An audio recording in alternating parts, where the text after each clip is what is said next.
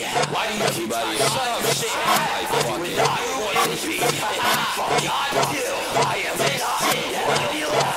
American wasteland.